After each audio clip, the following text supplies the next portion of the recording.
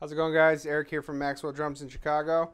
Today we're checking out a Gretsch Brooklyn set and we are actually doing these Brooklyn series now in some of our special finishes like this here Espresso Burst and our Mardi Gras finish. Um, the Brooklyn drums are a little bit less expensive than the USA Custom and the Broadcaster but they are still made here in the United States and this one we're featuring, like I said, in our Espresso Burst. Features an 8x12, 14x14, and a 14x20.